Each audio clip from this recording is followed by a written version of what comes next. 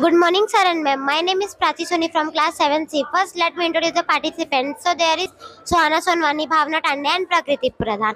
Our topic is digestive system of ruminants. In this model, we have used thermocols, pipes, colors, and injection. In this model, there are different names of cow body parts are oesophagus, are oesophagus, rumen, rumen, stomach, cecum, large intestine, and small intestine.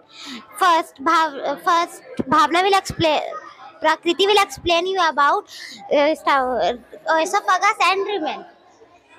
Good morning, ma'am and sir. Myself Prakriti of 7C, and I am going to explain about the esophagus and rumen. Esophagus. It is a tube-like structure that connects the mouth to the stomach. The rumen. They quickly swallow the uh, they quickly swallow the grass and store it in a part of body called rumen. Thank you.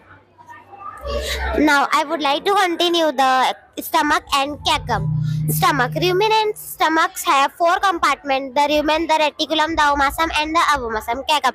Cecum is a large area where the small and large intestine can meet. Thank you. At last, Prakri- again, Prakriti will explain you about large intestine and small intestine. Now I am going to explain you about the large intestine and small intestine. Large intestine. The large intestine includes colon, rectum, and anus. The small intestine. The small intestine consists of the duodenum, jejunum, and ileum. Thank you. Now we will show you the practical. At, with the help of injection, the blood circulate in various parts of cow body parts are oesophagus, rumen, cecum, and large intestine. Thank you.